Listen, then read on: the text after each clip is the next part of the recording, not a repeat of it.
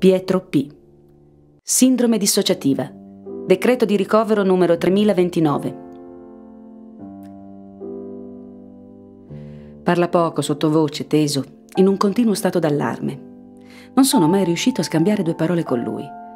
Quando lo invito nel mio studio, sfugge il mio sguardo. Si volta indietro, guarda la porta dalla quale è entrato, come se da lì temesse un'aggressione.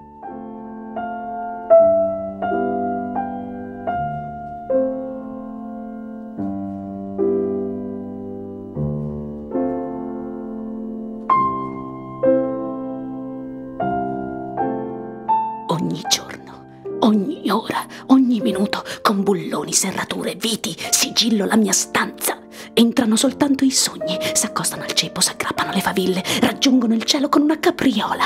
Ogni giorno, ogni ora, ogni minuto mi investe l'uragano della realtà. Scardina la mia porta, m'agguanta per i capelli, mi trascina fuori, mi spezza le gambe, mi scaraventa nelle rapide della disintegrazione. Ogni giorno, ogni ora, ogni minuto, con bulloni, serrature, viti, sigillo la mia stanza.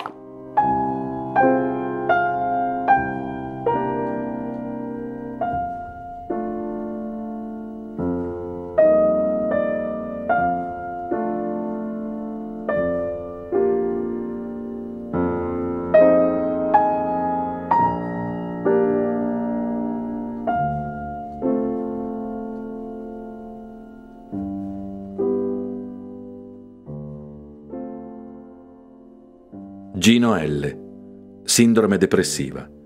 Decreto di ricovero numero 571. Dice di sé, io sono nato morto. Tetro, scostante, nessuno lo avvicina.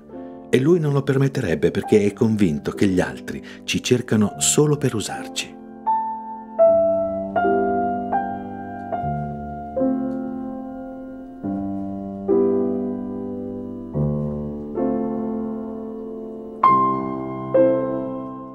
Qualcuno disse che essere vivo è sentirsi fratello dell'uomo. Io non mi sento fratello dell'uomo.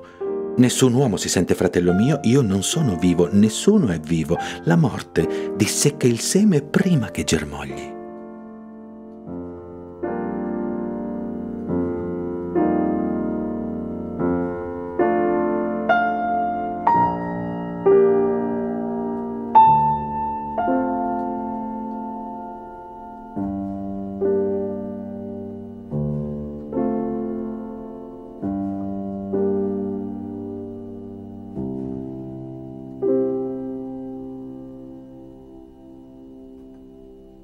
Angela E.